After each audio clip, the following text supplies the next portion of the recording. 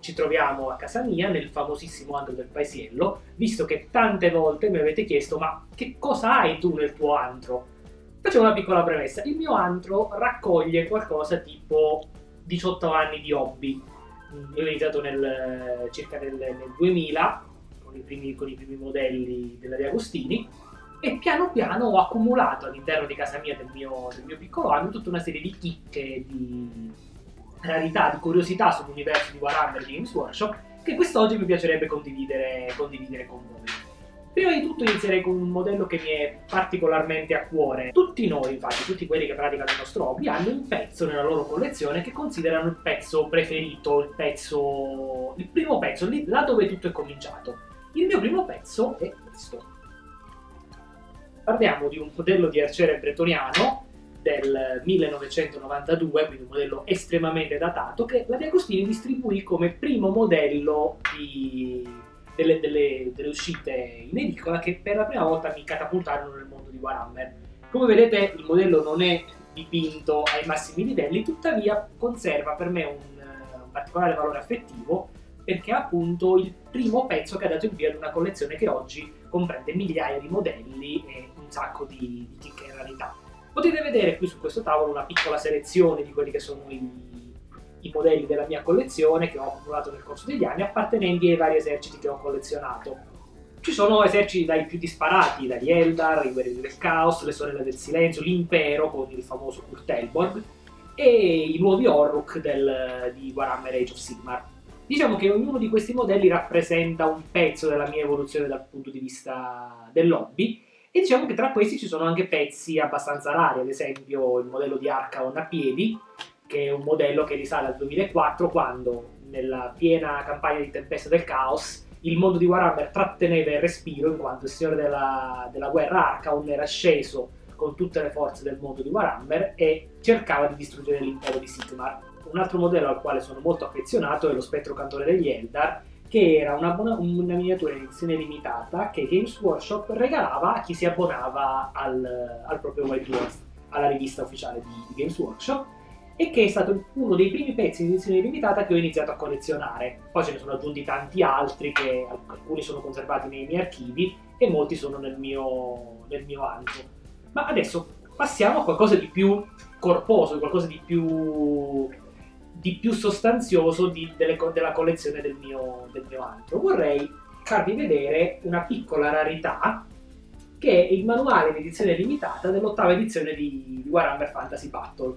Questo qui è un libro molto bello che ha una copertina, copertina rigida, pagine in pergamena e racconta, non so se riuscite a vederlo, quanto possa essere bellissimo questo libro questo libro racconta tutta l'evoluzione del mondo di Warhammer, le varie regole, il background di tutti gli eserciti su una pergamena su una carta molto pesante pergamenata che è un piacere per gli occhi ma anche, questo non riesco a descriverlo, al tatto, al tatto e soprattutto anche all'olfatto, a quel sapore di libro antico che non guasta All'uso, mai. metti il naso dentro il libro. Ne... No, il naso dentro no. il libro.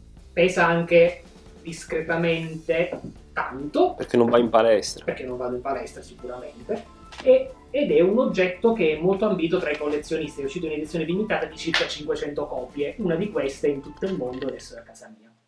E gli hobbisti più affezionati ricorderanno con una lacrimuccia questo, questa rivista è uscita in Italia nel settembre del 1997, parliamo di anni e anni fa, ed è stato diciamo il primo lancio sul mercato italiano della rivista di, di Games Workshop. All'interno avevano addirittura un edificio in cartoncino che potevi assemblare e utilizzare nelle tue partite, quando ancora tante cose non erano, non erano fornite da Games Workshop. Games Workshop era un'azienda in espansione, ma ancora non aveva tutte le bellissime cose che ci sono oggi nei vari negozi ufficiali GW. E parlava anche di Bretonia, dava una prima panoramica del mondo di Warhammer e di tutte le cose belle che poi affascinarono il dodicenne me all'inizio, ad iniziare questo magnifico, questo magnifico hobby. Un altro pezzo che vorrei farvi vedere è appunto, sono parte della mia collezione, alcuni dei vari personaggi speciali che uscirono nel corso degli anni. Ad esempio, questo modellino, Egrin Van Ostman sul suo drago Baudros, è uno dei modelli più belli dell'esercito del caos. Questo modello bellissimo è stato il primo modello di generale del caos interamente sul drago. Il drago è interamente in metallo, pesa tantissimo ed è uno dei modelli più belli della mia, della mia collezione che per chi si ricorderà aveva anche un ruolo molto importante nel mondo di Warhammer quando Arcaon ancora non c'era era il modello più grande che gli eserciti del caos potessero schierare. Ancora volendo cam- cambiando esercito uno dei modelli che adesso mi piace di più ma che quando è uscito non riuscivo a sopportare è il modello del Lich King Arcan lo stesso che adesso vedete in groppa al suo destriero scheletrico quando una volta viaggiava su un carro sulla prima quadriga del mondo di Warhammer io ricordo quando l'ho visto per la prima volta con questa cozzaglia di colori di aver pensato però è brutto questo modello. Oggi, a distanza di anni, riguardando la scultura, riguardando il design di questo personaggio, mi accorgo che è qualcosa che tutti i nostalgici del mondo di Warhammer, come tutti i nostalgici del mondo di Warhammer sanno, è un qualcosa di, di profondamente intrinseco dentro di noi, non riescono a fare a meno di apprezzare quanto questo modello in realtà fosse bello ai tempi. La chicca della mia collezione sono appunto i modelli dei mercenari il regno di Tilea ci sono molti reggimenti di Ventura e Games Workshop aveva prodotto nel corso degli anni tutta una serie di modelli dedicati ai mercenari. Questo ad esempio è una compagnia di Alcatani che nel corso del tempo hanno raggiunto dei valori, anche delle quotazioni di mercato, incredibilmente elevate. E mi fa piacere ricordare che io ho un intero esercito di, di mercenari e che adesso sono lì in attesa di essere dipinti con un sacco di pezzi che sono parte della mia collezione a cui sono particolarmente, particolarmente legato.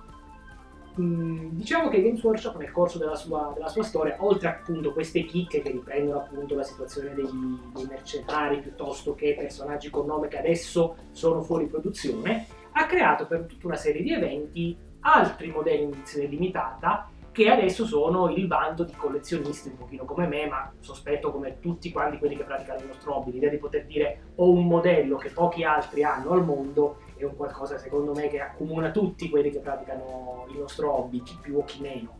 Io vorrei farvi vedere due modelli di Capitani Space Marine che questi modelli sono stati rilasciati per quanto riguarda l'uscita del nuovo sito internet ed erano modelli di Capitani Space Marine molto molto belli che sono stati praticamente disponibili per pochissimo, per pochissimo, tempo e oggi sono particolarmente ricercati sul mercato.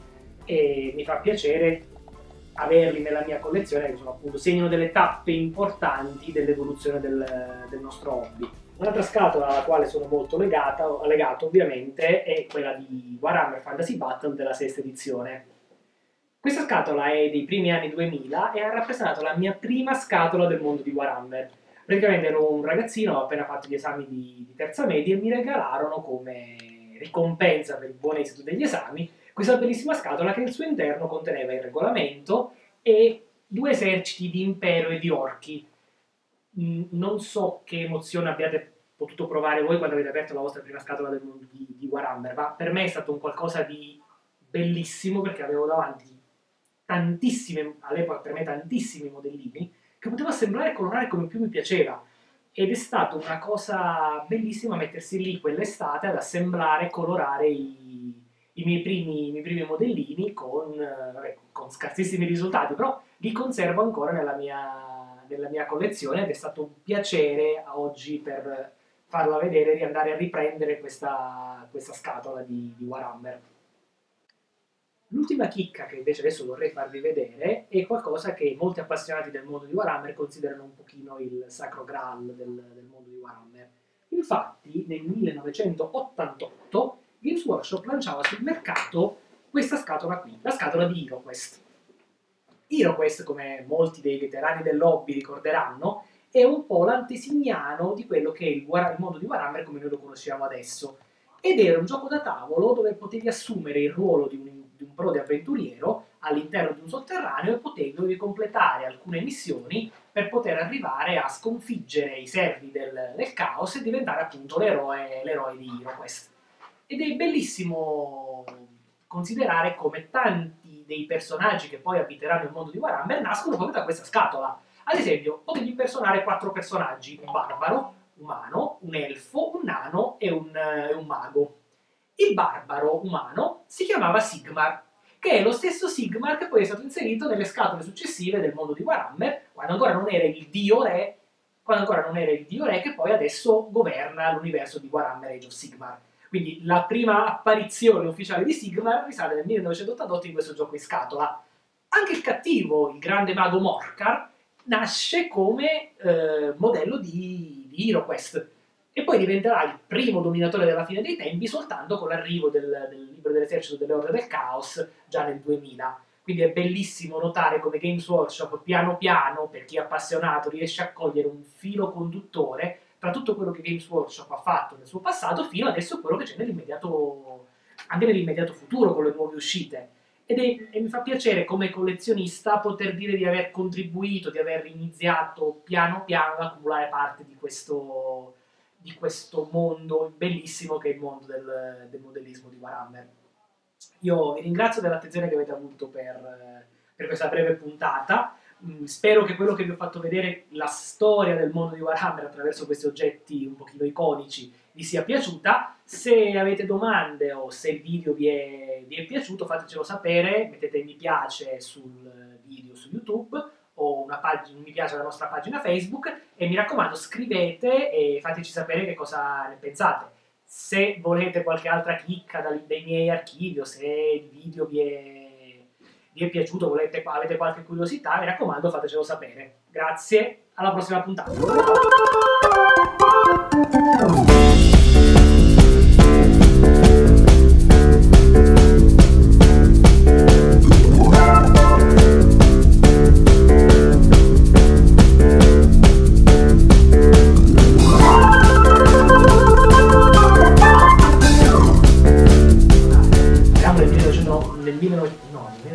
1988, nel 1988 avevano... Ai ai ai. Ai ai ai. Due. Ma no, scusa, non è nel 1988. Vedi le date prima di... E di- ti regolo. Mm? Vabbè, Io lo rimanderei al prossimo Sì, sì. anno. Debito. Debito? Eh, Dove sta? quando poi fa il figo ai quiz vi rendete conto che in realtà è pappa molla. Non è vero, non è vero, sono tutte bugie e giochi. Io sto registrando, eh. Mm? Registrando, se questa.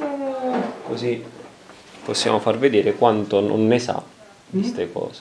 No, mi sembra sia 88, Sì. però... Vabbè. Cerca su Google, no? Vabbè, cercheremo su Google. No, cerchi adesso su Google. Cerco adesso su Google.